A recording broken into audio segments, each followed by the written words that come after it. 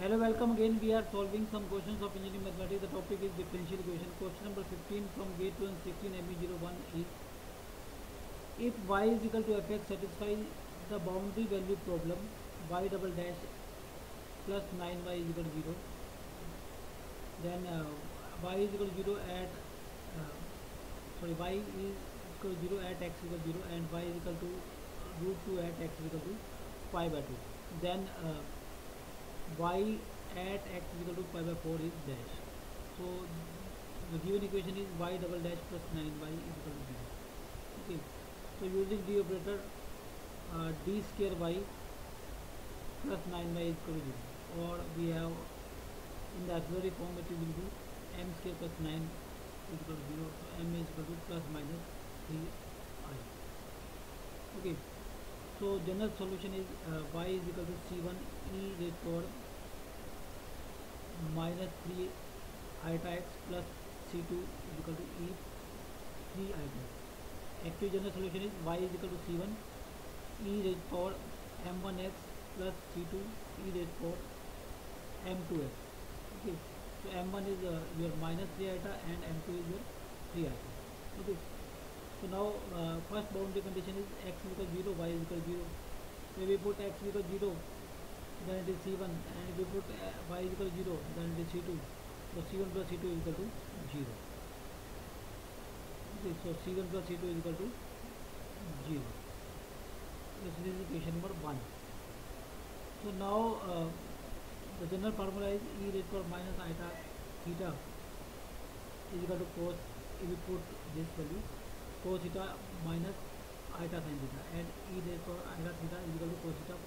plus 1 iota theta. So this formula will be used for second boundary condition. So second boundary condition is at x equal to pi by 2, uh, y is equal to root 2. Okay. So uh, now we have to convert this uh,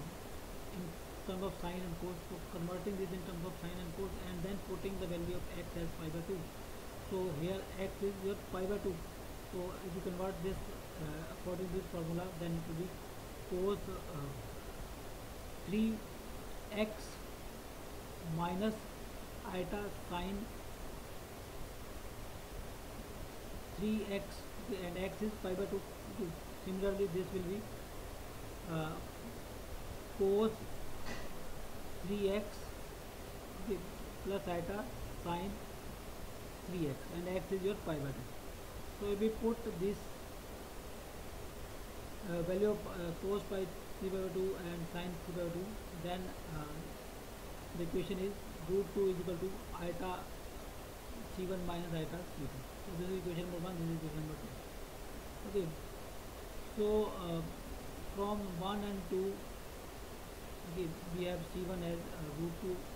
by iota and c2 as minus 1 by root 2 solving root 1 and 2 just multiplying by iota, and then solving for then so adding and solving for c1 then uh, solving for three 2 okay so so now the solution becomes uh, 1 by 3 to eta cos 3x here in here it will be x in place of pi by 2 minus sine 3x plus sorry minus 1 by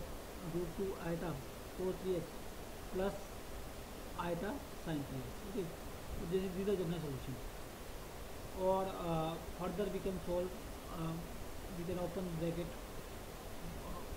we can cancel out this 1 by root 2 iota cos 3x minus 1 by root 2 iota cos 3x okay. and